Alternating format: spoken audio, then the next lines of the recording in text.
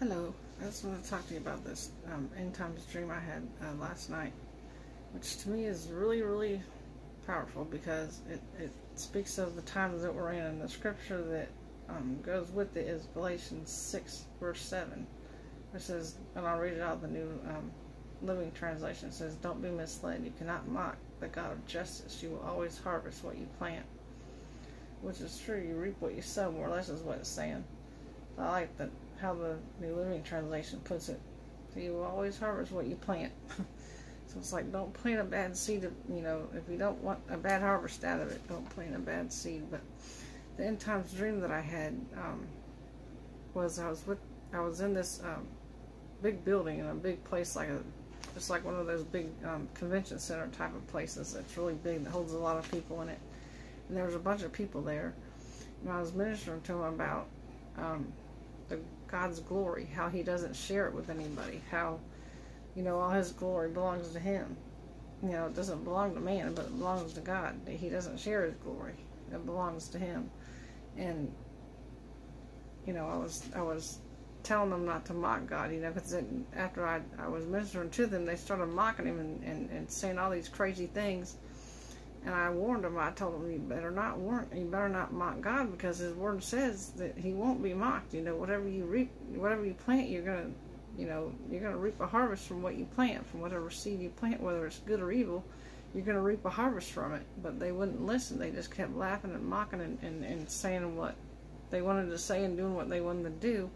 And it just reminded me that, you know, that that's the times that we're in. You know, it really it, it's the times that we're in. People are already doing that. You know, they're already mocking God, thinking they're going to get away with it, and they're already, you know, doing the things that they shouldn't be doing, and not listening to God, not taking heed to what He says, and not taking heed to His word and to His warnings that He's given people, and you know they're going to reap the harvest from that. It's really also um, cause it's like a two-part dream, but it basically was, you know, about the end times and about the times that we're in now, and about God not being mocked and about, you know, God's judgment falling on the people that are disobedient and that refuse to listen to God and refuse to listen to what He tells them and to take heed to what He says. Basically, that's that's what it was like. You know, the other dreams that I've been having lately are, and that just, you know, really shows me, you know, and, and hopefully would help other people see too that, you know, He means business. You know that His His judgment is is coming on the people,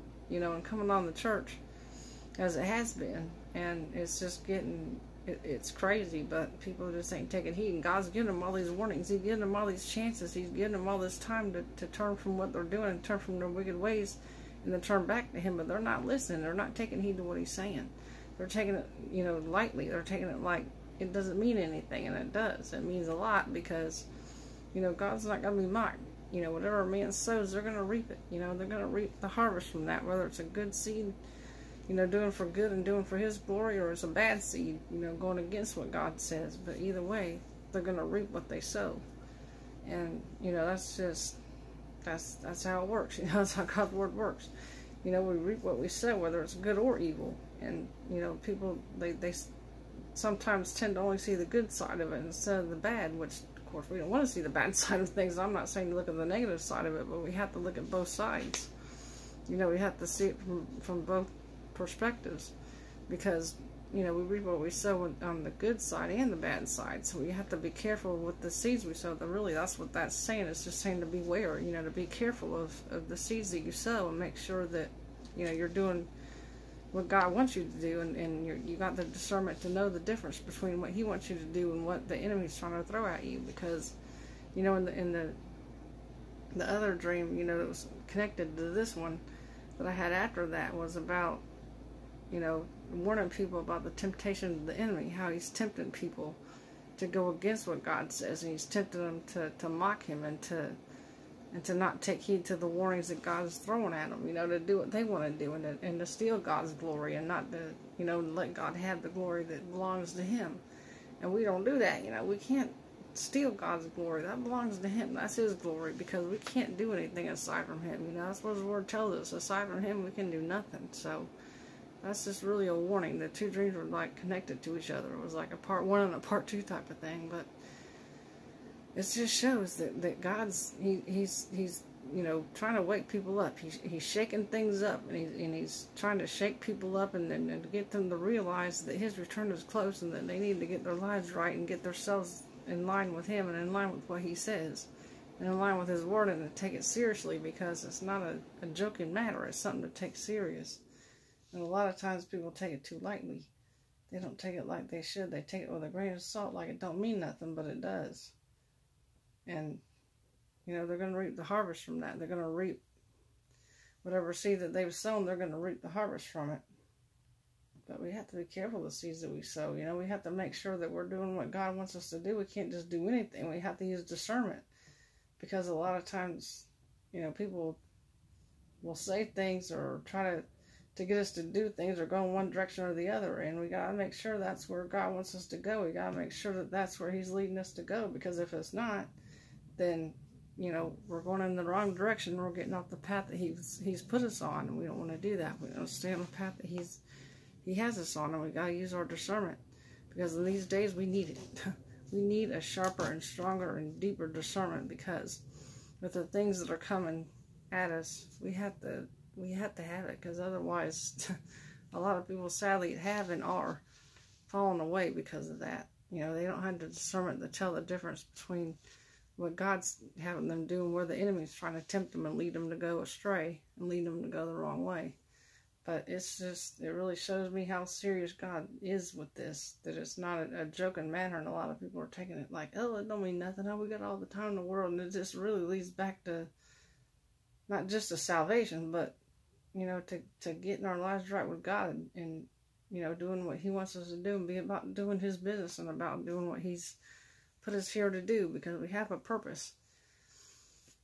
And we're supposed to fulfill that purpose and do the, the things He's called us to do. And there will be mockers and there will be naysayers and there will be a lot of people that, that go against it, but we can't allow that to keep us from it. You know, we can't allow that to keep us from doing what God wants us to do. We have to keep pressing into Him and just, you know, doing what we know that God wants us to do and not not allow people or the enemy you know, to pull us away from that. We have to we have to stick with it because these are serious times that we're in, and it's you know it's with all these dreams that I'm having, it just shows me that God's really trying to impress on His people and trying to get them to wake up. You know, not just the church, but He's trying to get His people in general, even those that are fallen away and those that have went their own way and, and rebelled against him. He's trying to wake them up and show them how serious this is. And it's not a, a joking and a laughing matter. It's something that people need to take seriously and realize that God takes it seriously. And if He takes it seriously, then we need to. You know, we need to to take heed to it and to, to listen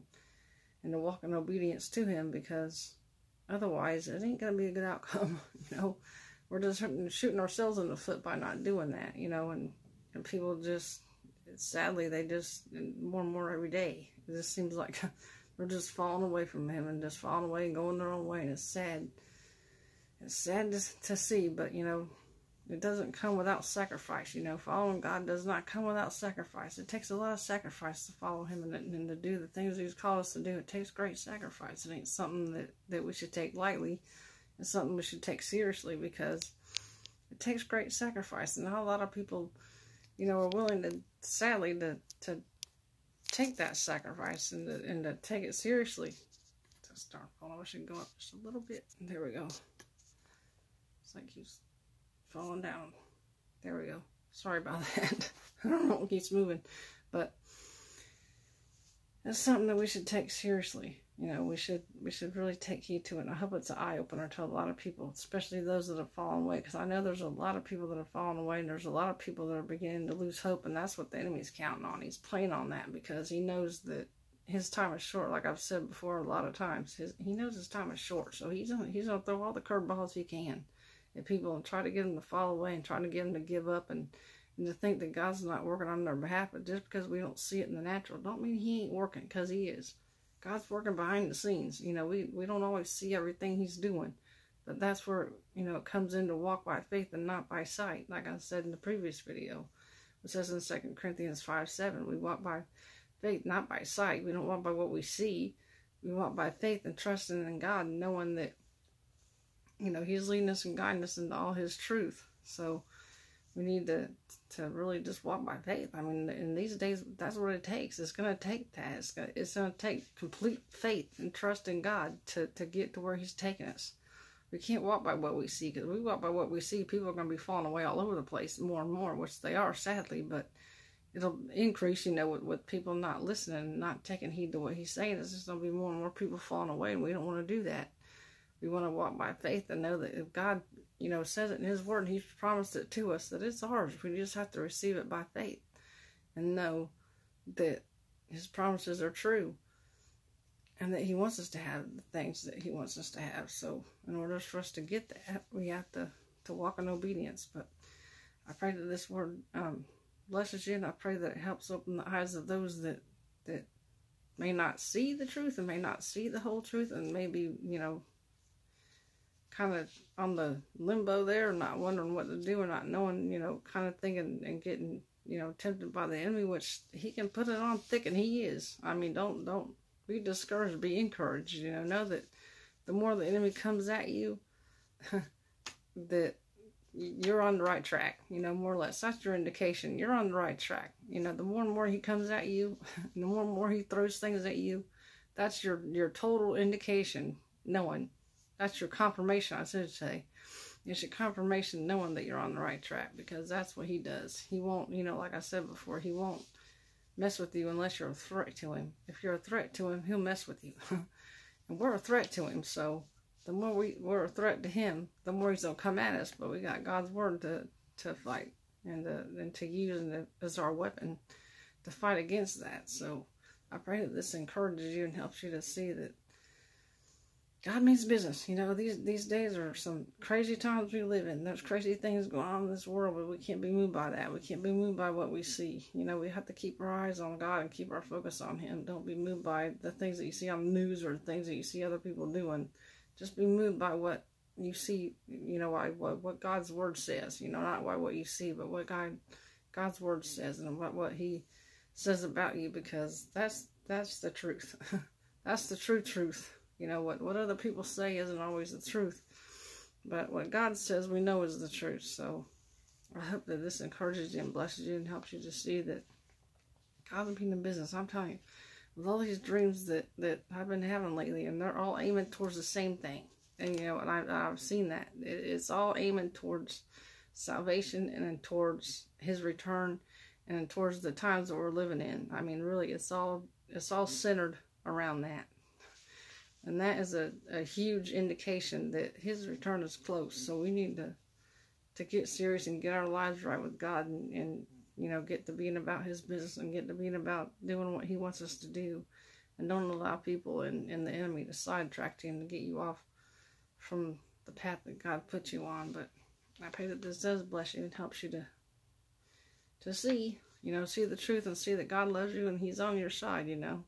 Like I said before, don't don't fight battles that don't belong to you. You know, let God fight it. Because a lot of times we fight battles that don't belong to us and that we shouldn't fight. And that's when, you know, we, we wear ourselves out by fighting a battle that God never intended us to fight. So don't fight the battles that don't belong to you. Only fight the ones that, that God wants you to fight. With His help, of course, because He's always with us. So we know that we don't fight alone. We're not on the battlefields by ourselves. He's He's got our back. So we're in good hands with him. We don't have to worry about that. But I pray that this word helps you and blesses you and, and helps encourage you to, to not give up. You know, even though we face hard times and even though you face things that ain't always easy to go through, know that God's with you. You know, you're not facing it by yourself. You're not facing those things by yourself. You're facing it with Him. So with Him, we can do all things. we can do all things through Christ who gives us strength. But I pray this blesses you and, and encourages you and helps you not to give up. And um, I pray that, that it it's really an eye opener to those that, that have fallen away and those that have, you know, kind of slipped away from God. Not, I wouldn't say completely, hopefully they wouldn't have done that, but even if they have, I pray that it helps them turn back to Him because, you know, like I, I always say, don't run from the only one that can help you. run to Him, not from Him because he's the only one that can truly help you. So don't run away from him, but run to him and allow him to help you and allow him to lead and guide you into all his truth. But until next time, I pray that you all are blessed and encouraged And I will um, leave all my information in the description box below with my, my GoFundMe account and all that stuff. If people want to sow a seed into my ministry, you're welcome to do so. And I will see y'all next time. And until then, y'all be blessed and have a good evening.